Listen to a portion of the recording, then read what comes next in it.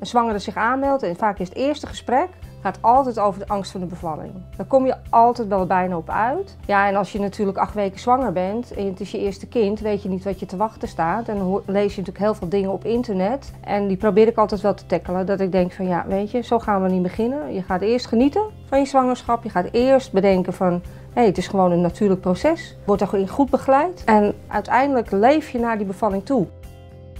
In mijn praktijk ligt de thuisbevalling echt wel hoog. En dat vind ik wel heel fijn in vergelijking met andere praktijken. En dat komt echt door de, doordat je veel meer tijd en aandacht voor de mensen hebt. En dat je ze veel meer het vertrouwen geeft in hun eigen lijf. Zodat ze het ook aandurven om thuis te bevallen.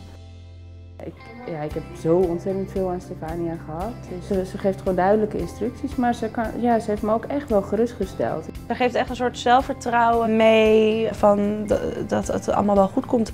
Dus ze weet waar ze mee bezig is en ze weet ook heel vaak mensen goed te motiveren bij een bevalling. En je merkt dat mensen daar heel veel houvast aan uh, hebben. Ja, Laura die is afgestudeerd in het buitenland. Ze loopt ook veel meer met mee, maar ze doet ook heel veel dingen als zelfstandig. Eh, Laura en uh, Stefania hebben me geholpen in het ziekenhuis. Het is gewoon een hele fijne ervaring geweest. Ze hebben me er echt doorheen gesleept. Vrouwen die behoefte hebben aan meer uitleg of vooral op één op één contact. En net als ik het een beetje spannend vind, een hele zwangerschap en een bevalling.